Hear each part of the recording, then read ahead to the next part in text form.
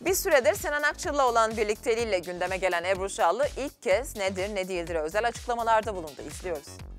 Seni gören kalp tak tak atıyor Kafada şimşek çak çak çakıyor Sinan Akçıl'ın uğruna şarkılar yazdığı kadın Ebru Şallı ilk kez konuştu. Tertemiz bir şey gerçekten. Çok temiz, güzel. Parmağındaki yüzüğün sırrı ne? Ben burada yeni bir yüzük gördüm parmağınızda. Antakya'dan Sinan Akçıl'ın gönderdiği künefeler Ebru Şallı'ya kural bozdurdu. Antakya künefesi kadar olmasa da güzel yani. Sinan Akçıl'a aşkını ilk kez kameralar karşısında itiraf etti. Öyle. Öyle değil mi? Aşk güzeldir. Aşk güzeldi.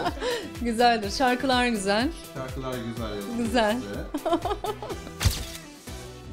Mahcup halleri ve yalnızca nedir ne değildir özel açıklamalarıyla bir Ebru Şallı röportajı sizleri bekliyor. Bıktım ben gizlemekten, gönlüme sus demekten, seni benden beni senden sormayan kalmasın. Türkiye'nin Pilates deyince ilk akla gelen ismi Ebru Şallı bir internet sitesinin reklamları için kamera karşısına geçti. I'm gonna pop some tags Only got $20 in my pocket I, I, I'm hunting, looking for a come up Ünlü sunucunun kamera karşısına geçmeden hazırlık aşaması da hayli titiz bir çalışmayla gerçekleşti. Şallı'nın ensesine yaptırdığı S dövmeli kalbi ise gözlerden kaçmadı.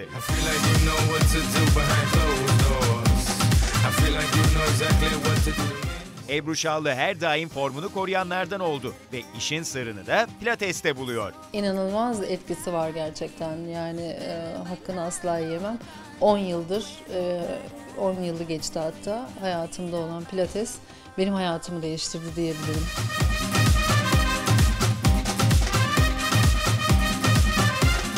İşini ne kadar ciddiye aldığını bakın nasıl ifade ediyor Ebru Şallı. Evet öyle oldu gerçekten. Ee, ama çalıştım ben de gerçekten hani e, mahcup olmamak için onlara da gerek yapmış olduğum DVD'lerle gerek canlı yayınlarla. Pilates yalnızca zayıflatmıyor, aynı zamanda sorunlu bölgelerde gözle görülür iyileşmeler sağlıyormuş. Mesela selülit gibi. Çok kısa sürede güzel sonuçlar alıyoruz.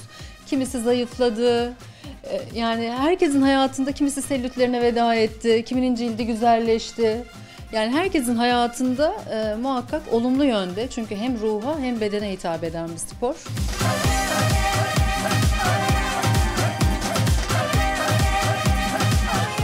Pilatesi artık kadınlar kadar erkekler de yapıyormuş. Beyler de yapıyor evet. Hı hı.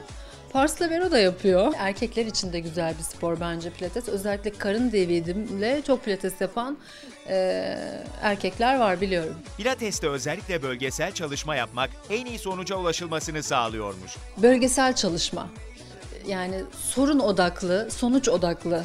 e, hem sorun hem sonuç odaklı çalışmak çok güzel sonuç veriyor.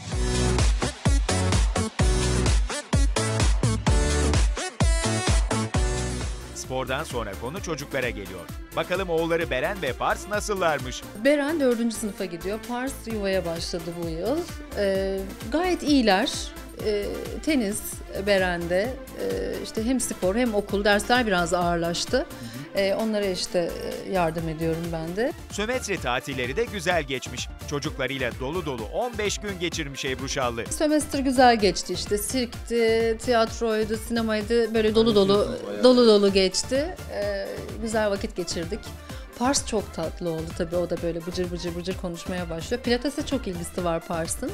Onu jimnastiğe vereceğim. Ebru Şallı ile ilgili son günlerde en çok konuşulan konuysa ünlü müzisyen Sinan Akçıl'la yaşadığı aşk oldu. Kimileri ilk başta bu aşka inanmaz ve bunun bir dedikodu olduğunu söylerken, kimileri bu aşkın gerçek olup olmadığını kanıtlamakla uğraştı. Sonu gelmez bu masalda İkilinin birlikteliği ayyuka çıkınca ise Sinan Akçıl'ın Funda Arar'a verdiği hafıza şarkısını da Ebru Şallı için yazdığı dillerde dolanmaya başladı. Hiç hatası yok başkasına, kalbim ait oldu belki de bir tek sana. Sana. Arkadaşımız Engin Aytaş, sohbeti sırasında Ebru Şallı'nın parmağındaki yüzüğü fark ediyor. Ama cevaplar hep kaçamak ve kimi zaman da mahcup. Burada yeni bir yüzük gördüm parmağınızda. Yüzükler evet güzel yani. Seviyorum. Ee, Kalp şeklini çok sevdiğim için tercih ediyorum yani. Ne? Neyse böyle sorulara girmesek diyorum artık.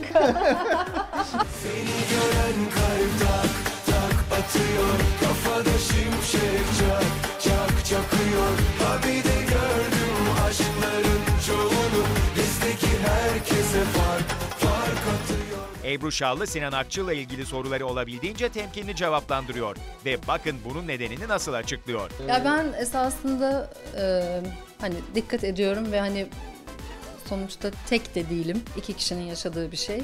Ve hani çok fazla konuşmak, dillendirmek istemiyorum. E, ya böyle gizemli kalması daha güzel geliyor bana. Yani kalmadı.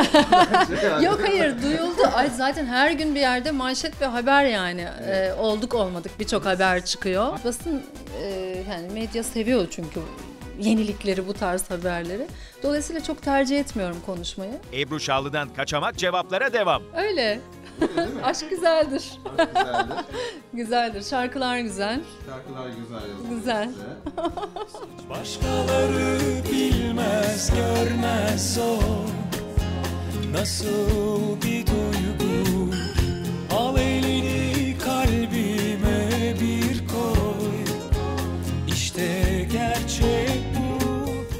Sinan Akçıl'la yaşadığı ilişkiyle ilgili samimi bir itiraf dökülüyor ağzından. Sadece şunu söylemek istiyorum.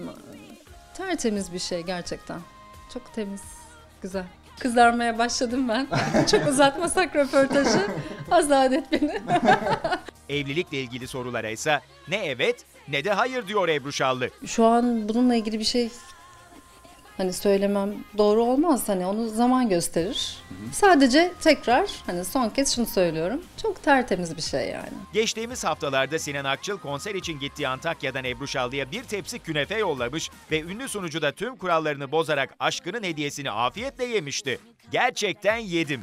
İster inanın ister inanmayın. Antakya'dan olunca dayanamadım. Notunu düşmeyi de ihmal etmemişti Ebru Şallı. It's just not fair. Ebru Şallı'nın Sinan Akçıl'a gönderdiği bir mesaj da yine sosyal medya sayfasındaydı. Şallı Akçıl'a 2 saattir pilates yapıyorum. Antakya'dan gelen bu künefeyi yiyebilmek için mesajını göndermişti.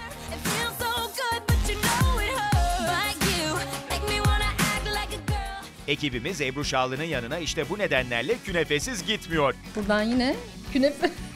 Hanımlar pilates yapın derken bu künefeyi. Afiyet olsun efendim. Teşekkür ediyorum. Antakya künefesi kadar olmasa da güzel yani. Antakya'dan gelen künefeyi daha çok sevdiğini itiraf eden Ebru Şallı, kameramız aracılığıyla aslında Sinan Akçıl'a da mesaj iletmiş oluyor. Efendim Antakya'dan özellikle getirdim size. Bu Antakya'ya benzemiyor pek. Genelde tepsiyle yemesini seviyorum. Ee, yani geçen Evet, gün evet. Çok güzel. Ee, Antakya'dan konser sonrası. Öncesi ya da. Nasıl yani anlamadım. İkilinin arasında her şeyin yolunda olduğunu da böylece anlıyoruz aslında. Böyle sürprizler yapıyor demek ki size. Bir tepsi yediniz mi orada? Vallahi evet Antakya'dan gelince dayanamadım. Ee, yedim yani. Çok güzeldi ama. Süperdi ben evet çok. Sevgiyle yollanmış. Ee, evet sevgiyle yollanmış. Şimdi de bunu yiyorum artık. Teşekkür ediyorum. Senin künefen için de teşekkür ederim. Ama böyle bir künefe şeyine girdik yani. Ne olacak bilmiyorum. Hemen bir pilates.